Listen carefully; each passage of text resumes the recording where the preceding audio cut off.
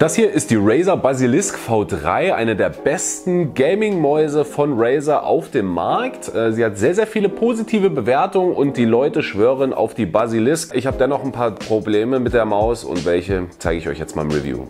Wenn man die Maus in der Hand hält, dann hat man das Gefühl, dass es qualitativ nicht hochwertiger geht. Der Korpus ist fest verbaut und man hat keine Stellen, die sich schwammig oder minderwertig anfühlen.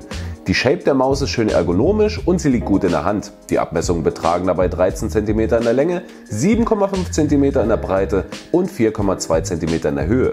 Dadurch ist die Gaming-Maus für mittelgroße bis große Hände geeignet. Sowohl Palm Grip als auch Fingertip und Claw Grip sind extrem bequem. Was mir aber aufgefallen ist, dass man im Palm Grip beim Nachziehen der Maus den Sniper-Button ab und an betätigt und das kann natürlich für manche hinderlich sein. Die Maus wiegt 101 Gramm und ist daher eher für MMOs, MOBAs und RTS-Spieler geeignet. Für Shooter-Games empfehle ich euch dann lieber die Razer Viper Series. Dazu sind verschiedene Videos auch auf meinem Kanal online. Die verschiedenen Zusatztasten und auch das Mausrad von der Basilisk V3 sind wirklich sehr nice. Die Tasten sind extrem snappy und mit dem Sniper-Button könnt ihr auf Knopfdruck die DPI verändern. Ich zeige euch mal, wie sich die Maus anhört.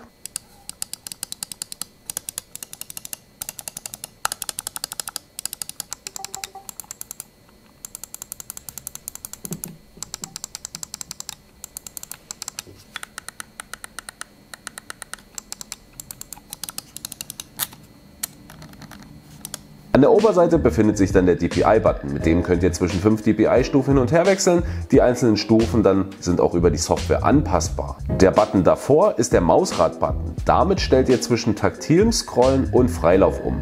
Das ist bei der Maus wirklich sehr gut gelungen und fühlt sich sehr hochwertig an. Es gibt in der Software sogar eine Einstellung für smartes Scrollen. Das aktiviert, ändert das Mausrad je nach Scrollgeschwindigkeit in den Free-Scroll-Modus.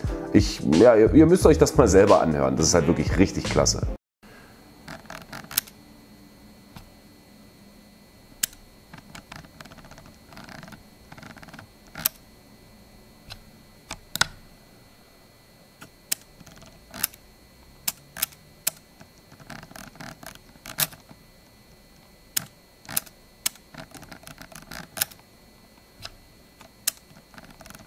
Das Scrollrad kann man dann auch noch nach links oder rechts bewegen für zwei extra Funktionen.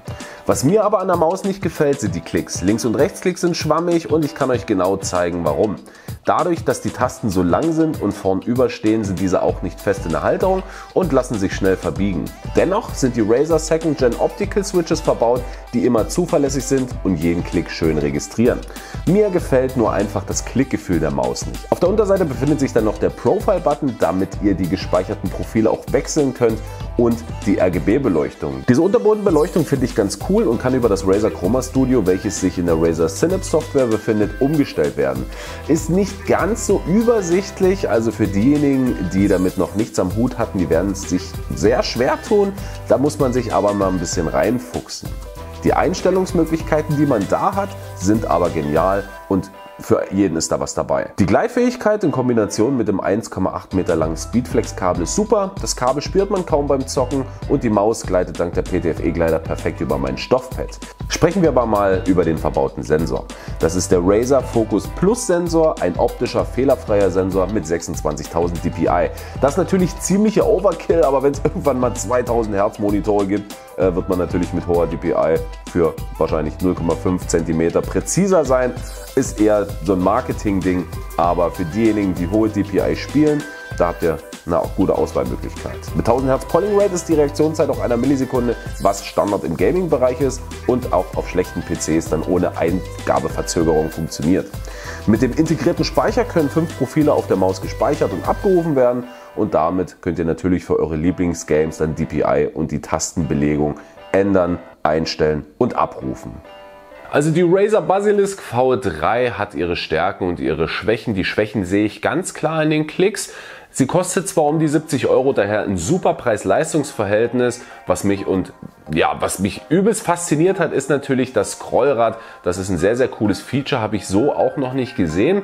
Ansonsten der Sniper-Button, der ist zum Beispiel bei dem Konkurrenten von Logitech austauschbar. Da kann man einen Blindstopfen drauf machen, beziehungsweise eine Blindtaste so, dass man die Maus dann auch für Shooter-Games zum Beispiel nehmen kann, ohne dass mit dem Daumen da mal aus Versehen draufkommt. Aber ansonsten doch eine sehr solide Maus und ich denke auch die nächsten Jahre wird sie der Top-Favorit mit am Gaming-Markt sein. Ihr könnt mir mal eure Gedanken zu der Maus in die Kommentare schreiben, euer Feedback und wenn euch das Video gefallen hat, lasst doch gerne mal ein Like und ein Abo da, damit ihr keine weiteren mehr verpasst und dann sehen wir uns im nächsten. Bis dahin macht's gut und tschüss.